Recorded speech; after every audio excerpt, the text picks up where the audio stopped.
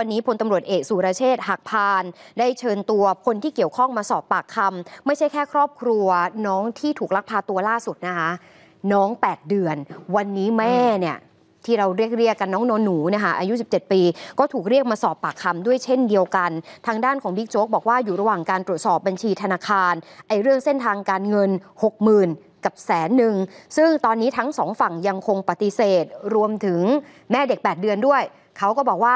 เอาจริงๆไม่ได้ขายลูกอะประมาณครับนี้ก็แล้วกัน แต่ยังต้องตรวจสอบความเชื่อมโยงทั้งหมดว่ามันเป็นขบวนการค้ามนุษย์หรือไม่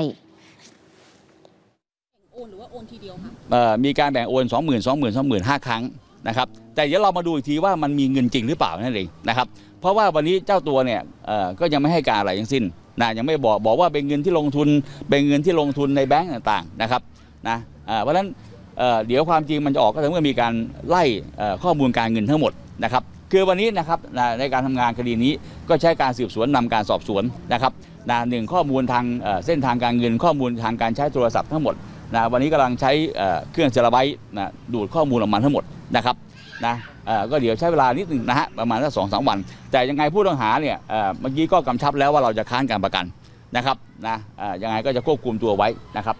คุณผู้ชมครับท่าทางของตำรวจเหมือนกับว่าจะมีการรื้อคดีน้องต่อเต่า 8 เดือน กลับเข้ามาสู่กระบวนการสืบสวนอีกรอบหรือไม่ เพราะมันกลายเป็นเหตุการณ์สองเหตุการณ์เกิดในพื้นที่เดียวกันลักษณะคล้ายๆกัน ล่าสุดวันนี้เราก็เลยย้อนกลับไปที่บ้านของแม่น้องต่อเต่า 8 เดือน ที่นครชัยศรีจังหวัดนครปฐมนะฮะคุณผู้ชมครับ วันนี้แม่ของน้อง 8 เดือนยืนยันว่านายนันทจักรไม่มีส่วนเกี่ยวข้องกับคดีที่น้องต่อเต่า 8 เดือน หายตัวไป เพราะคดีนี้ถึงชั้นอายการแล้ว แล้ววันที่ 5 กุมภาวันที่น้องหายไปบ้านของนายนันก็มาช่วยตามหาด้วยเหมือนกัน ตัวนายนันก่อนหน้านี้ก็เคยเป็นลูกค้ามาซื้อของซื้อน้ำซื้อเบียร์ที่ร้านเป็นประจำเพราะบ้านของแม่เนี่ยอืมเปิดเป็นร้านชำค่ะเพราะฉะนั้นเนี่ยนะฮะแม่ของน้อง 8 เดือนยืนยันคำให้การเดิม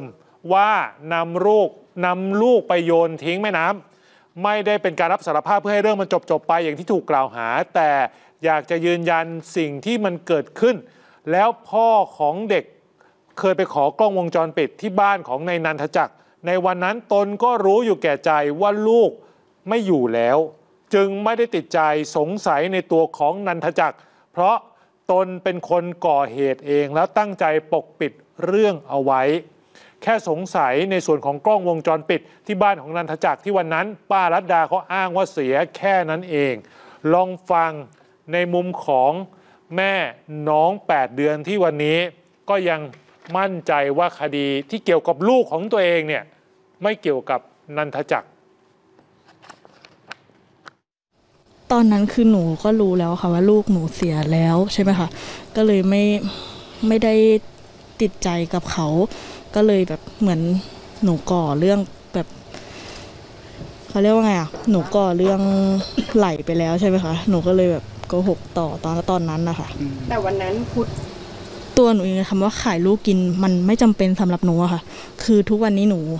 มีเงินใช้มีเงินกิน แค่นั้นก็พอแล้วค่ะ ไม่ได้แบบแบบมีเงินเยอะอะไรขนาดนั้นเลย แค่มีกินมีใช้ทุกวันก็พอเลยอะคือหนูก็ ตัวหนูเองนะคะ ไม่เคยมีการโอนเงินอะไรพวกนี้ค่ะ ไม่เคยแบบอะไรกับพวกนี้เลยถามว่าเรื่องบัญชีหนูนะคะ ส่วนบัญชีพุทธหนูก็ไม่ทราบเหมือนกันว่าเขามีการซื้อขายพวกเหมือนไอเนี่ยซื้อเวลาเขามาซื้อของอะค่ะ แล้วก็โอนเงินอะไรพวกนี้หรือเปล่า นี่ค่ะ เป็นการโอนเงินซื้อของที่ร้าน ส่วนจะโอนเงินวันที่ลูกหาย มันเป็นเหตุบังเอิญหรือไม่ เดี๋ยววันนี้บิ๊กโจ๊กลงแล้วนะคะ เพราะจริง ๆ ตอนกุมภาพันธ์บิ๊กโจ๊กก็เป็นคนจับคดีนี้ แล้วก็ตามคำให้การของแม่ ซึ่งยังเป็นเยาวชน ก็บอกว่าทำลูกตกมือ แล้วก็เอาไปโยนน้ำ มีเงินโอนเข้าบัญชีเพื่อนบ้านแสนหก